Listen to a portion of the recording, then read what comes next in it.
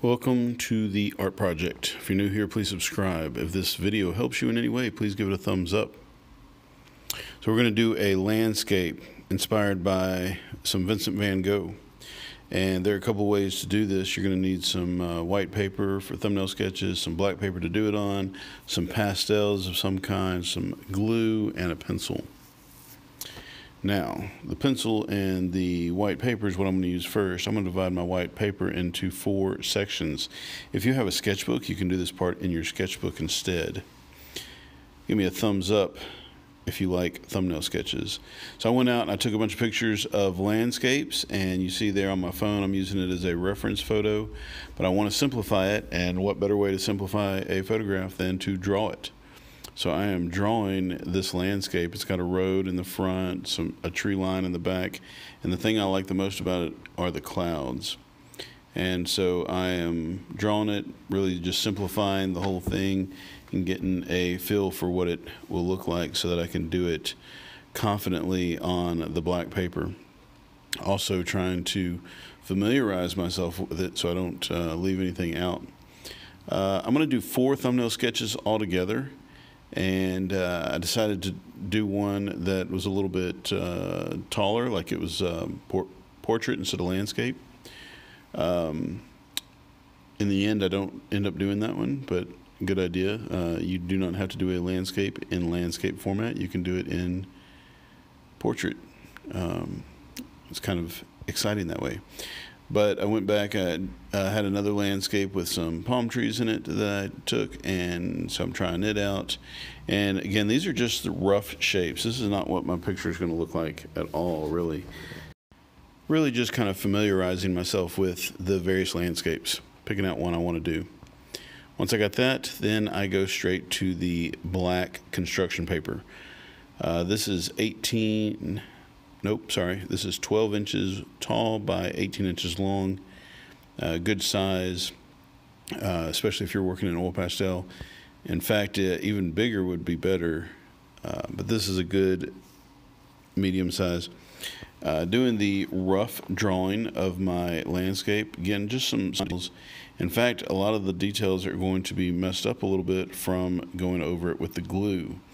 Uh, the glue is a good way of just, number one, exploring mixed media, two, experiencing what um, the raised texture does. It also leaves some really beautiful blacks in between uh, your oil pastels as you color it in, which makes kind of a nice, big, bold black outline. Uh, keep in mind that anything that I go over with glue right here is eventually going to be clear glue and therefore black paper. So if the glue is thick, the line will be thick. Uh, there, this is sped up, so it looks like I'm just kind of throwing it down there, that I'm just scribbling. Well, I'm really not. I'm actually doing this, you know, regular speed in real life and um, trying to get it you know, fairly right. But, you know, don't agonize over it. It's supposed to be impressionism, which is a word I hope you looked up or I hope you learned about before uh, watching this video. Um, impressionism gives you the impression of what you're looking at, right? So it's not a photorealistic painting of a landscape, it is an impressionistic. It gives you the impression of that landscape. So I'm going to be using these chalk pastels and I think that I honestly like the oil pastels better, but I have several boxes of chalk pastels and it is time to use them. And both of them work really well. So here we go. Uh, the road is gray, so I used some white on the black paper and let the black paper show through. Then I went in with the grass, and uh, I wanted grass of different colors, and I wanted the shadow from the trees on there. The shadow is blue, uh, I didn't want to use black because that's boring.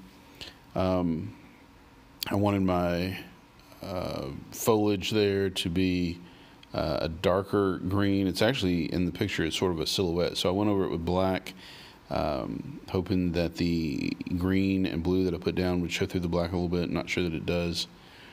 And then the next section uh, that I worked on was the sky. And in order to get my sky to look nice and bright, uh, obviously I put down a base of white and then I worked the blue into it. Eventually, I'm going to come back around and smear it in pretty good with my fingers. And the reason I did it the way that I did it initially is because I wanted those exciting marks in there.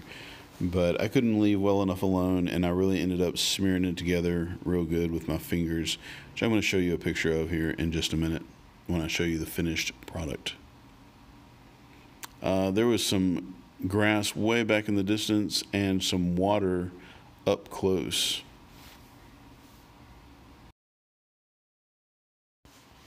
So here's what it looks like finished. Uh, you can see how uh, you can see all the little lines, and then I blended it together with my finger, which I think made a pretty big difference. Probably need to do it a little bit more.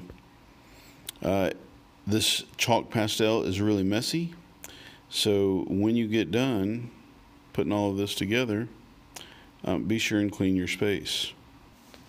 So for my second one, I wanted to see the difference between uh, chalk pastels and oil pastels on this project. And so I used some oil pastels. Sorry about my big old head being in the way.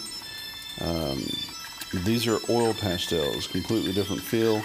Not quite as dusty and messy as the chalk pastels. Uh, the road is obviously sort of an asphalt gray. It's an old road, so I've got uh, multiple colors here. One rule of thumb to go by is try to mix together three different colors of oil pastels from your pack. Uh, using the straight blue or the straight green or whatever is really sort of boring and doesn't look good. So try to mix at least three colors together um, to make your colors a little bit more exciting. Now I'm going to come back to my road later on in the picture, uh, later on in the video.